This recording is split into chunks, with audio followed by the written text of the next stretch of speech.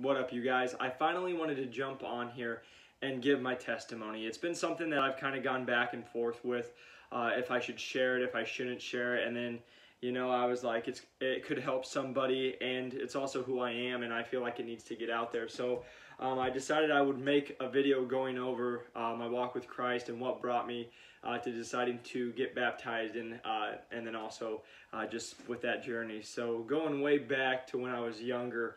Um, you know, I was born in a church home. Uh, we went to church every Sunday, actually to the point of we got grounded every single week. We didn't go when we were younger. And so that, to be real, kind of turned me off from church. Um, I didn't really want to go, and that kind of really pushed me away. Uh, but then uh, I got into high school, and then my mom wanted gave us the opportunity to decide if we would like to go to church or not and I actually didn't go to church because I was like, oh, I didn't want to. I was in high school, you know, going through all the high school stuff and just hanging out with my friends, doing stuff on the weekends. So I decided not to go to church. So I didn't go to church for like six years, and then um, had some things go on in my life. Uh, you know, I tried not to get too personal because you know I want to respect people in my life, um, but I also feel like it could help somebody. So you know just being real, uh, started and it kind of all started my uh, junior year of high school. I went through some tough times. You know, I played basketball, I had all good things and positive things in my life, um, but I also had some tough times where it just came down to like I had family um, issues. I I didn't have my dad in my life for a while. Um, actually, just like restraining orders and things just got crazy and um, didn't get to have him in my life, which uh, did have an effect on me. Just not having that father figure there. Um, and then also just you know some of the the messages got written to me that just kind of like really affected me um, throughout my younger youth. Uh, and then I experienced my senior year, one of my closest family members um, actually started having mental health issues and uh, going through a whole run with that for the next several years. And so that that really got me kind of uh, angry with God, um, and then I couldn't understand it to be real. Um, and then uh, I went to college, and I went to college, and I was finally on my own, and you know, some of my buddies went to church and they went to Bible study, so I was like, yeah, I'll jump in. You know, that's it's my decision now. It's not anybody telling me what I can and can't do, um, or I'm going to get grounded. So I decided I would go to church, and so I did. And then uh, I started making ways into it, and then you know, you go into college and it it just gets into that college world. You know, being an athlete, it's sleeping with women, it's partying, it's just living that college lifestyle, and it's it's not the best, but you do it and you think it's fun, and then it just gets crazy. And uh, you know, freshman and sophomore year were kind of you know I got close with God, then I'd go away with Him, and you know I'd always be like, oh, I want to get baptized, but I'm not perfect, and so I can't. And then I would start going back to my old sinning ways, and then I was like, oh, I feel far from God, so I shouldn't even go to church, and just went through that cycle for several years. Um, and then it was my junior year when I was still going to church uh, but didn't. And then that's when things really started turning in my life. And I'll just be honest, it was it was probably the toughest year of my life, um, it, just personally because just so much. And uh, then also the the most important person in my life, you know, leading up to that, um, went down. Uh, it was it was really tough, you know. So on on my birthday, I had to put one of the people I loved, not one of the person I loved the most on this world, um, and on this earth. I had to put them in the uh, the mental hospital um, on my birthday, and that was really probably the toughest toughest point in my life uh, to that point. Um, just because you know, like that was my rock. That was the person who always encouraged me, told me I could do anything I wanted, and I just loved so much. Um, and then to put them in, uh, you know, just to help them get to where they needed to be, it was it was tough on me. Um, but that's where it all shifted because that's when I, instead of just like believing in God, I hated God. Because I, I remember I'd go to church and I'd just be like crying because I couldn't understand why would God do that to, to my family? Why would God do that to me and put me in that position when I've, when I've felt like I've been doing things good? I'm um, being a good person, not lying, not stealing, not cheating, not doing all this other things. Um, and that's when it it really got me interested because I had friends encouraging me. I, I was going to church at the time. I had good people around me, and they were just like, you know, it's not God doing that to you. And that's when I went on this whole journey in search, and I was like, what do you mean? And so that's when I found out, you know, it's like the negative, the bad stuff in our life. It's not God doing this. It's God's not punishing you. You know, uh, there's evil in the world. There's bad things that happen, and you know, God's there for you during that. And so I wish I would have known that during the time because instead of actually like I was going to church, I was still like trying to meet with people, but I wasn't really believing it. Um, and I was actually just I went even harder than I was before to partying and um, drinking and then uh, with women and like that was the biggest thing is you know it's just I'm open about this because I don't think enough guys are um, because everybody's like oh you need to go have sex you need to go do it it's the best if you're a college guy you get muscle you get women it's the best you know and um, and I'm here to tell you guys it's like it's the opposite you know um, because I got to the point where I was just sleeping with all these different women, and it got to the point where it's like I didn't even care about them. You know, I didn't even care who they were. It was just get with them and then tell them to get out. And like, I just will never forget doing that one too many times, and then it just hit me, and I was like so empty. I, I honestly felt like death inside me, because. Uh, this was supposed to be the thing that was supposed to be making me a man and filling me up and making me feel worthy and it, all it was doing was like tearing me down and killing me. And so like it was just a cycle because I'd go drink and sleep with somebody and then I'm like oh okay and then you just do it again the next week and then the next week and it just continues the cycle and all you're doing is going into this spiral where you just go down and you feel horrible. And I just felt like death inside and the, the, there was a day that I can always remember and that was the day that I started to pursue uh, Christ, um, and that's when I decided that I would get baptized on.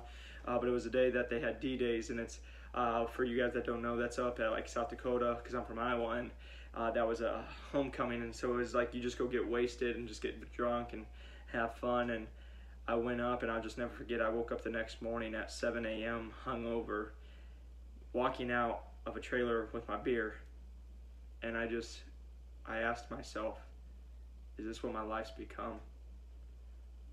And I was like, am I really that dude who just wakes up at 7 a.m. with my beer hungover? Is that what I want my life to be? And I and I knew my like my life has too much on it. And I was like, I can't can't just keep doing this spiral where I just go and do all these stupid things that I don't want to do. And then I went home and my roommate is big into church and he's like, hey, you're coming to church with me. I'm like, nah, man, I'm going to bed. I'm hungover. And he's like, no, man, you're going to church with me. And then uh, I'm so thankful for that day. And so I went, and that was actually uh, crazy enough, baptism Sunday. And so I watched a lot of people that I knew give their life to Christ, but during the sermon is what hit me the most. And it was uh, just talking about lukewarmness and basically just, you know, you say you're a Christian, but you're out drinking, partying, sleeping with people. And I felt like I was like, that's, what are you doing? Would you watch my Saturday night last night? And uh, it just hit me really hard, and I watched it um, and just remember everybody going into the, the line to get baptized, and I asked my buddy, he drove me, and I just asked for his uh, car car keys, and I went out in his car and I just bawled. Like I just cried so hard. And it was just like, you know, realizing you got to I got to the lowest point in my life. Like I was going through just family stuff, not having people around that I I wanted to support, but you know, you just realize it's not to happen sometimes, which just sucks, but you know, I just got to that point where I just realized, you know, it's not gonna happen. I realized I'm living this fake, empty life that's not for me, um, and it, it wasn't what who I was becoming. I didn't want to ever become, and I just felt like I hit rock bottom there. And it was that day, like I was just a wreck. I was just messed up um, because it was like I, it, it felt like God saying, "All right, here I am. Now let's let's do this. Time to go." Um, and then, you know, I that's when I decided, you know, I'm gonna start pursuing this this uh, lot tougher and a lot more serious. And so then got connected into Bible studies that I started going. I really started reading the Bible. I started just putting myself around people, listening to good music, and trying to get away from more of the party scene. And so then I I decided to give my life to Christ because it came up a chance to get baptized, and so I got I got to get baptized. And the coolest thing is, is one of my other buddies, uh, Bryce. He's he's my best friend. I we still try to talk every month, and he got baptized with me, and it's one like a special moment. Um, just realizing that we, you know, gave our life to Christ on the same night. Uh, so it was it was a cool thing, and you know, I'll just be honest with you guys. I just want to just be real with you. You know, you, when you get baptized for that first like week, you're just on fire. You're like, oh, God is great. You just made this declaration, and I'll just never forget some of the backlash I got, and it's okay. Uh, but just I just want this to be real for people out there, uh, because I I got baptized and I put it on there and I just I put a declaration or declaration that I was like I'm I'm gonna follow Christ. This is this is my time to follow Christ, and uh, I'll never forget. I had a lot of encouragement, and then I also had guys that I, that knew me, and they're like, you know, sending messages. Oh, does this mean you're never gonna have sex again?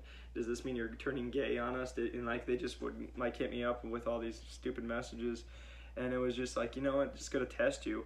Uh, and that's to be honest, that's kind of what gave my life to uh, Christ and how I got there. And I just want to like do a kind of a fast forward where it's at now. You guys, uh, I've been following Christ and I got baptized over three years ago, and just for a lot of people who don't know, they think it gets easier, and, and I'll just be honest, and it doesn't. To be real, I think it, gets more tough because you know who your king is, you know what you're living for, and this world is not anywhere close, and you're gonna get temptations, and and I just I try to be real because like there's a lot of guys out there like me um, that we don't talk about this enough and like people don't know the real temptations of like you know i i struggle with sex that's one thing you know and, and everybody's like oh well everybody does and and i agree it, it, it's what we do but like for me i just really struggle with it because like you know knowing it wait, trying to save it for marriage because i want it to be so special for my family um, and and to know that i've already kind of thrown it away uh, but to, to bring it back to where it should be uh, but it, it's tough you know it's like it's still being in the fitness industry it's still like you know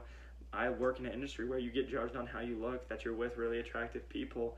Um, you know, it's not like I don't like I still get the temptation where it's like sometimes I'll just get naked pictures sent to me through Instagram and stuff like that, and you look at it and you're like, man, like it, it, it's still tough. And so I, I don't want to ever be here and say once you guys decide to give your life to Christ that it just gets easy because I'll just be real. I feel like it gets tougher because now you really do know, and now the temptations are going to be there even stronger, and now you have to fight it.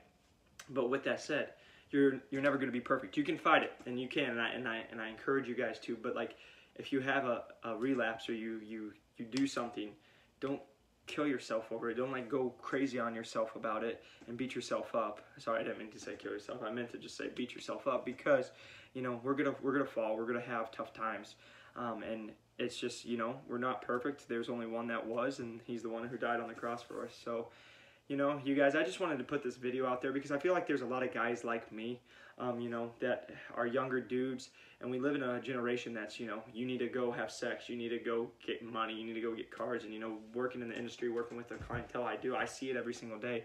I work with models, I work with rich millionaires, I work with these people, um, and it's and it's not what it's all cracked up to be. They're still missing that one thing, and they're empty on life and looking for it. And so that's just my encouragement, you guys.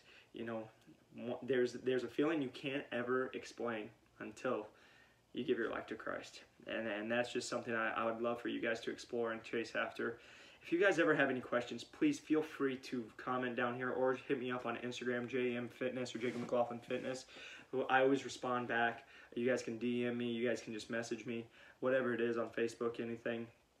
But again, I'm just here to help you guys and, and again to help myself too because like it's a struggle every single day and, and I'll just be real last little part is like there's not a lot of people I can eh, talk to. You know, I'm so blessed, I found a guy at church that we can be roommates and hang out with, and it's it's awesome. And he like we have similar goals in life and similar uh, beliefs, but that's not the reality. Like you know, I still get asked at my gym by like random dudes, like, "Oh, who you banging this week?" And I'm like, "Nah, man, that's not me. That's that's not who I am." So it's like the temptation doesn't go, and I'll just be real. I live in Scottsdale, Arizona, and the temptation's more than ever with with where I'm at. So uh, it, it, doesn't ever get easier. You just have to get stronger. And, and the last piece I'm going to leave with you guys is, you know, you have to fight your temptations. And I, and I Eric heard a quote by Eric Thomas, and it changed my whole life. And that's really what got me really super serious this last year. Was if you don't deal with your demons, they're not going anywhere. And that just that hit me hard because it doesn't matter if you you can sweep them under the rug but eventually they'll come out. So uh, whatever you're dealing with, whatever you're struggling with, just make sure you guys are trying to focus on it and trying to get over it because they're not going to go anywhere. It's only going to get harder. So I know I kind of rambled on at the end, but you know that's my temptation. That's what brought me to Christ, um, and that's why I just decided to give my life to Christ. And my, and I'll just be real, my life's been a million times better ever since I have. And God's blessed me to be where I am today, working with one of the top guys in the fitness industries to mentor me and uh, teach me and just give me amazing life advice and keeps putting people in my life that I feel just so truly blessed to be around. So I just wanted to put this video out there. I hope it really helps somebody and just know you guys, I really, really rooting for you. If you guys have any questions, again, feel free to reach out and just know that I love you guys. Hope you guys have a great night or great week or whatever it is for you. And if you guys haven't, please press the like and subscribe button. Have a great week, you guys. And I try and I try not to need you like you need me. I'm sick and tired of living in LA. When the sun is out, but there's so much change.